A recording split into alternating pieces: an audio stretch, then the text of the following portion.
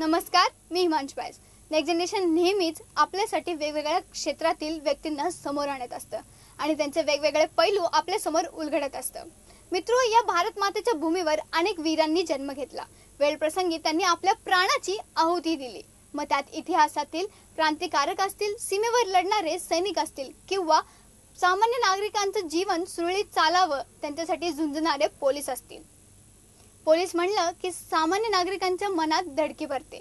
अशीच ही धडकी आणि भीती एका व्यक्तीने खऱ्या अर्थाने संपवली आहे. तर अशाच निधड्या छातीच्या व्यक्तीला आज आपण भेटणार आहोत.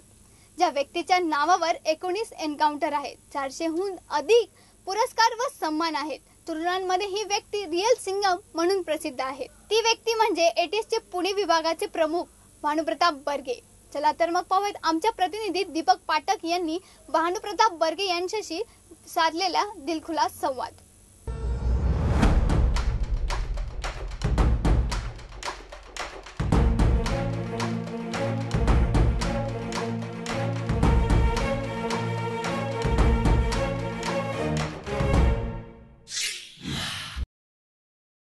भारताच्या इतिहासामध्ये आपण ज्या प्रतापाला ओळखतो तो म्हणजे पहिला राणा प्रताप. त्यानंतर स्वराज्याचा इतिहास आपण ज्या वेळेला पाहतो त्यावेळेस दुसरा अजून एक प्रताप आपल्यासमोर येतो तो म्हणजे प्रतापराव गुजर आणि महाराष्ट्र इतिहासमध्ये ज्या प्रतापाचं नाव आदराने घेतलं जातं असे म्हणजे भानुप्रताप बर्गे सर आज आपल्या आपल्यासोबत आहेत. आज आपण त्यांच्याशी संवाद साधणार आहोत. होमटाऊन त्यांचं सातारा आहे. सातारापासून पहिली पोस्टिंग त्यांची डोंगरी या ठिकाणी झाली. सातारा ते डोंगरी हा सर प्रवास कशा प्रकारचा आहे आणि का कशा प्रकारे आपण वाटचाल केली? सर्वात प्रथम नेक्स्ट जनरेशनचे मी आभार मानतो या ठिकाणी की आपण जो माझा या ठिकाणी उल्लेख केलेला आहे आणि पुणेकरांच्या बरोबर मला ही संधी आपण उपलब्ध करून दिलेली एक संवाद साधायची. त्याबद्दल मी आपले पूर्ण टीमचे या ठिकाणी प्रथमतः आभार मानतो. दुसरी गोष्ट आहे की आपण फार फार म्हणजे फार थोर व्यक्तींची या ठिकाणी आत्ताच नावं घेतलेली आहेत. आणि मी त्यांच्या म्हणजे अगदी त्यांचं जर कार्य सिंहाचं असेल तर माझा या ठिकाणी खारीचा वाटा असेल. अशा पद्धतीने मी हे काम करत आहे. आणि आपल्याला माहिती आहे की आता मी सातारमध्ये माझं कोरेगाव म्हणून मूळ गाव आहे. कोरेगावला माझा जन्म झाल्यानंतर माझं शालेय शिक्षण पुणे शहरामध्ये तसंच पुण्याचे जिल्ह्याच्या वेगवेगळ्या भागामध्ये झालेलं आहे. आणि हे शिक्षण झालेलं असताना महाविद्यालयामध्ये मी फर्ग्युसन कॉलेजमध्ये शिकलेलो आहे. फर्ग्युसन कॉलेजमधनं मी आर्ट्समध्ये ग्रॅज्युएशन केल्यानंतर एकोणीसशे त्र्याऐंशीला पासआउट झालं. एक वर्ष मी एम बी एसाठी प्रवेश घेतला. एम बी एचं शिक्षण चालू असतानाच माझं एम पी एस सीद्वारे सिलेक्शन झालं. पी एस आय म्हणून सिलेक्शन झालं माझं. आणि मग त्यानंतर एक वर्ष मी नाशिक या ठिकाणी ट्रेनिंग केलेलं होतं. ट्रेनिंग पूर्ण काल केल्यानंतर ट्रेनिंगमध्ये सुद्धा मला खूप चांगल्या संधी मिळाल्या. त्या ठिकाणी मला फर्स्ट प्राईज जे रिव्हॉल्वर फाय शूटिंगचं जे प्राईज मिळालं होतं ते मला मिळालेलं होतं. त्यानंतर ट्रेनिंग संपल्यानंतर पहिलं माझं पोस्टिंग जे एकोणीसशे शहाऐंशीमध्ये झालं ते डोंगरी पोलीस स्टेशन या ठिकाणी झालं. डोंगरी हा बहुतेकांना सगळ्या भारतात राहणाऱ्या व्यक्तीला डोंगरी हा भाग माहिती आहे. डोंगरी हे जवळजवळ त्या ठिकाणी नाईंटी सिक्स पर्सेंटपर्यंतचे मुस्लिम लोक राहतात. मग राहिलेले चार पर्सेंट त्या ठिकाणी मिश्र वस्ती आहे. याच्या व्यतिरिक्त त्या ठिकाणी आजचे जे नावाजलेले आपण कुप्रसिद्ध जे गुंड म्हणतो त्याच्यापैकी एक दाऊद इब्राहिम असतील छोटा राजन असतील करीमलाला असतील जे आता मयत झालेले आहेत याच्या व्यतिरिक्त हाजी हाजी मस्तान युसुफ पटेल ह्या लोकांचा त्या भागामध्ये वावर असलेली जागा किंवा ह्या लोकांचा वावर ज्या पोलीस स्टेशनच्या हद्दीमध्ये होता असं ते पोलीस स्टेशन होतं. सुदैवाने मला त्या ठिकाणी श्याम कुंडलकर म्हणून मला एक वरिष्ठ त्या ठिकाणी पोलीस स्टेशनचे इन्चार्ज वरिष्ठ पोलीस निरीक्षक होते. त्यांनी खूप चांगल्या पद्धतीने मार्गदर्शन केलं. विशेषतः सांगायचं म्हणजे या ठिकाणी असं आहे की त्यावेळेस मी बॅचलर होतो अविवाहित होतो आणि पोलीस स्टेशनच्या वरतीच एका छोट्या रूममध्ये त्या ठिकाणी राहत होतो.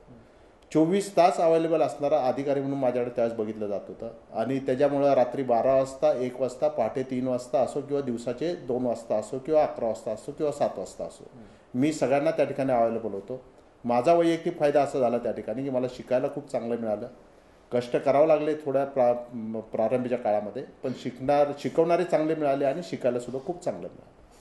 आपण पुण्याविषयी आता ज्यावेळेस पाहतो म्हणजे जर्मन बेकरीतला बॉम्बस्फोट असू देत किंवा जंगली महाराज रोडवरती बॉम्बस्फोट झाले फरास खाण्याचा बॉम्बस्फोट झाले ह्या सगळं सर्व घटनांनंतर पुणे हे दहशतवाद्यांच्या हिट लिस्टवर असल्याचं समोर आलं आहे आता ए टी एसचे तुम्ही प्रमुख आहात पुण्यामध्ये आहात तर आपली कशा प्रकारे आता तयारी आहे किंवा त्या बॉम्बस्फोट नंतर आपण काय कशा प्रकारे प्रिकॉशन्स घेतलेले आहेत? आत्ता यामध्ये मुख्यतः आपण एक लक्षात घ्या की महाराष्ट्र एटीचे प्रमुख म्हणून श्री विवेक फणसळकर साहेब आहेत.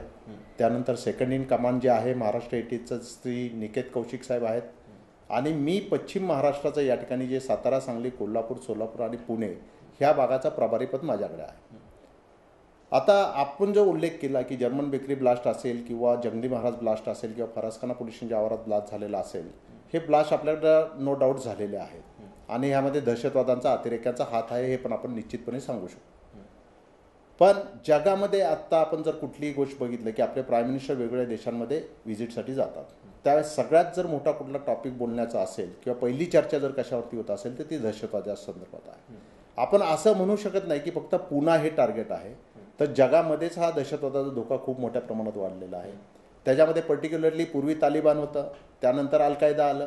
अल कायदा गेल्यानंतर त्यानंतर आपल्याकडे इंडियन मुजाहिद्दीन आलं त्यानंतर लष्कर ए तैयबा आलं हुजी आलं.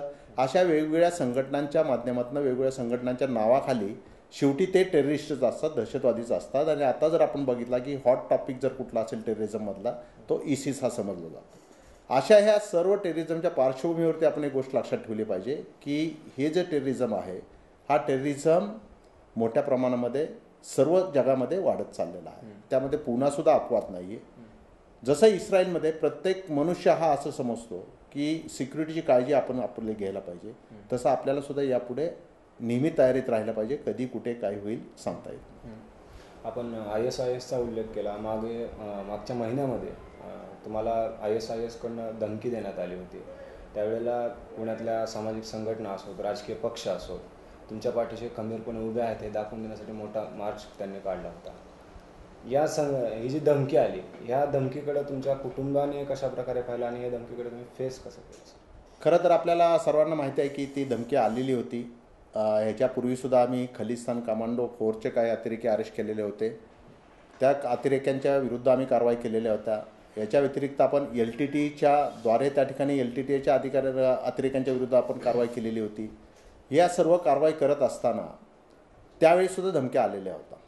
आणि ह्या धमकीचं आम्ही एवढं गांभीर्याने घेत नाही आहे का तर धमकी देणारे किंवा करणारे असतील ज्यावेळेस करायचं आहे धमकी आली तरी ते होणार आहे किंवा धमकी नाही आली तरी ते होणार आहे. विशेषतः पुणेकरांच्या बाबतीमध्ये आपल्याला मी वेगळं सांगण्याची गरज नाही की शक्यतो पुणेकरांकडनं असा प्रतिसाद मिळत नाही या अधिकाऱ्यांना. तो माझ्या बाबतीमध्ये मी सुदैवी समजेल की मला खूप चांगल्या पद्धतीने हा लोकांचा सपोर्ट मिळाला जनतेमधनं त्याच्यामधनं पाठिंबा मिळाला. काम करण्याचा मला त्याच्यामध्ये हुरूप आला. ह्याच्यामध्ये खरं तर मी आपल्या चॅनलचे जे बाबा शेठ आहेत त्या बाबा शेठचे पण मी विशेषतः आभार मानतो की त्यांनी हे इनिशिएटिव्ह त्यावेळेस घेतलेलं होतं. की साहेब आम्ही आपल्याला धमकी आलेली आहे आम्ही आपल्याला असा पण पाठिंबा देतोच. पण जाहीररित्या बरेच संघटना आमच्याकडे आलेल्या आहेत जे नेक्स्ट जनरेशनकडे आलेल्या संघटना होत्या. की त्या संघटनांनी बाबांना सांगितलं की आम्हाला ह्या अधिकाऱ्यांसाठी सपोर्ट करायचं तर तुम्ही आमची काय मदत करू शकता. तर आपल्या चॅनलच्या माध्यमातून सुद्धा आम्हाला खूप चांगल्या पद्धतीने सपोर्ट मिळालेला आहे. घरच्यांना पूर्वी ज्या ज्यावेळेस अशा धमक्या यायच्या त्यावेळेस थोडे घरचे घाबरले जायचे. परंतु आता घरच्यांना सुद्धा सवय झालेली आहे. फक्त यावेळी जी धमकी आलेली होती ही आय सी सारख्या संघटनेकडनं आलेली होती. त्याच्यामध्ये किती तथ्य आहे अजूनपर्यंत आपल्याला निष्पन्न झालेलं नाही आहे पण तरीसुद्धा की अगदी रिटायर पोलीस महासंचालक असतील महाराष्ट्राचे त्यांच्यापासून ते अतिवरिष्ठ आय पी एस अधिकारी आहेत यांच्यापासून मला सगळ्यांनी फोनवरती सांगितलं की तू तर घाबरणार नाहीच पण तरीसुद्धा की संघटना ही वेगळी आहे. यांचं कार्य करण्याची किंवा काम करण्याची पद्धत वेगळी आहे. थोडं प्रिकॉशन्स थोडं जास्त घे यावेळेस. अशा ह्यानी मग मी ते प्रिकॉशन स्वतः घेतलेलं होतं. पुण्याचे पोलीस आयुक्त आहेत श्री के के पाठक साहेब यांनी मला स्वतः विचारलं की तुला सिक्युरिटी पाहिजे का म्हणून? तर मी त्याला नकार दिला साहेब. म्हणलं आपण ज्यावेळेस दुसऱ्यांची सुरक्षा करतो त्यावेळेस आपण सुरक्षा घेऊन येणं मलाही संयुक्तिक वाटत नाही. आणि असंही आम्ही काळजी आमची घेत आहोत. अशा पद्धतीने आम्ही तो विषय त्या ठिकाणी संपवलेला आहोत आय एस आय एसबद्दल आपण आता बोलत आहोत. मागच्या दोन महिन्याखाली एक पुण्यातली विद्यार्थिनी आय एस आय एसच्या कॉन्टॅक्टमध्ये असल्याचं समोर आलं होतं. तर सुशिक्षित तरुणांमध्ये जनरली आपण पाहतोय की आय एस आय एसचा ओढा आहे. आणि ही जी पुण्यामधून जी केस आली त्या मुलीचं काउन्सिलिंग आपण कसं केलं आणि केस हँडल कशी केली आता मुख्यतः काही इन्फॉर्मेशन आपल्याकडे सेंट्रल एजन्सीजद्वारे आलेल्या होत्या. त्या एजन्सीजद्वारे आलेल्या इन्फॉर्मेशनवरती आपण जवळजवळ दीड ते दोन महिने काम करत होतो. हे काम करत असताना आपल्याला असं जाणवलं की पुण्यातील एक मुलगी जी ह्यांच्या सम संपर्कात आलेली आहे. आपण जे आत्ता वाक्य वापरलं की आयसीसकडे मुलांचा ओढा जास्त आहे हे पूर्ण चुकीचं आहे. ओढा हा कुणाचाच नाही आहे परंतु काही लोकांना आपल्या जाळ्यात ओढून त्यांचं ब्रेन वॉशिंग करण्याचा काही प्रयत्न केला जात आहे. आणि त्याच्यासाठी सोशल मीडियाचा मोठ्या प्रमाणात वापर केला जात आहे. सोशल मीडियाचा वापर करत असताना त्यामध्ये मग काही मुलांना किंवा मुलींना त्याच्यामध्ये अट्रॅक्शन झालेलं किंवा त्या त्या ठिकाणी अट्रॅक्ट झालेलं आपल्याला दिसून येतं. ह्या मुलीला ज्यावेळेस आम्ही चौकशीसाठी बोलवण्यात आलं तर प्रथमतः आम्ही एक सुद्धा शब्द जो आहे तो तिच्या घरच्यांच्या व्यतिरिक्त तिला एकटीला आम्ही कुठलाही शब्द विचारला नाही. ज्यावेळेस तिला विचारायला सुरुवात केली त्यावेळेस तिने पहिल्यांदा एकतर त्याला नकार दिला जे काय आम्ही विचारत होतो. त्यानंतर दुसरी गोष्ट आहे की आम्ही ज्यावेळेस परत परत विचारत गेलो किंवा तिला मग आम्ही ॲडिशनल प्रूफ देत गेलो त्यावेळेस मग नंतर तिने सगळं सांगायला सुरुवात केली. घरचे सुद्धा त्यावेळेस काही काळ स्तब्ध झाले. घरच्यांना सुद्धा धक्का बसल्यासारखं झालं ते. आणि हा? घरच्यांना अजिबात काही माहीत नव्हतं. घरच्यांची एकदम घरचे चांगले लोक आहेत. त्याच्यामध्ये असं दिसून आलं की चांगले सुशिक्षित फॅमिली आहे. आणि घरचं व्यवस्थित आहे.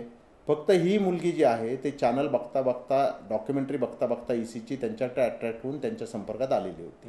ह्या मुलींचं जे आपण समुपदेशन केलं किंवा जे काउन्सिलिंग केलं आपण ह्याच्यामध्ये तर त्यामध्ये आपण लोकल जे मुस्लिम लिडर्स होते काही मौलवी होते त्या ठिकाणी ज्यांना कुराणाचं जास्त नॉलेज आहे किंवा जे चांगल्या पद्धतीने कुराणाचा अर्थ सांगू शकतात अशा लोकांची मदत घेतली त्यांच्या घरच्यांची मदत घेतली. अजून सुद्धा तिचं डिरॅडिकलायझेशन करण्याचा आपण प्रयत्न करत आहोत.